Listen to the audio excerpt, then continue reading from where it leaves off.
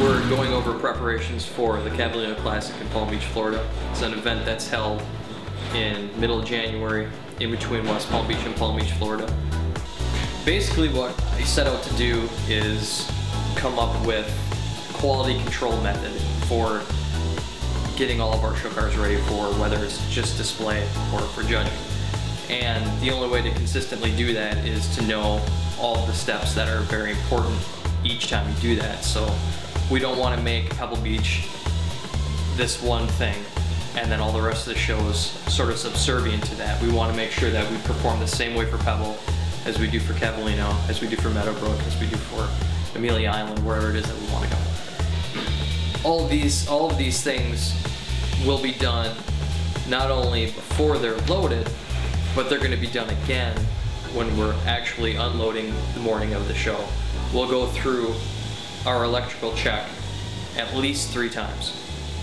We do it when the car gets here, we do it before we load it, and we do it again the morning of the show.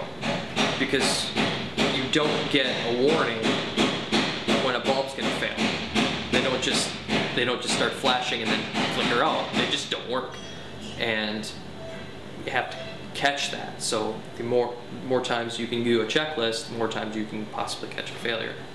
It's it's if you bring a car to a show and you present it with, you know, there's these little things here, you know, there's a little bit of dirt there, there's a little bit of dirt here, there's a couple pieces of a cotter pin there, um, some pieces of wire trimming.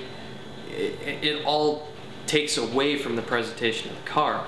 So the more little nitpicky items you can remove from the judge's mind when they step back and think about your car when they have to decide who is going to who's going to be first, second, or third, the le- the more that you can eliminate those things, the better off you're going to be. So all that, you're trying to make your make your judge's life very difficult, and that's one of the things that we have, thankfully, to this point, been very good at is making the judge's job really hard.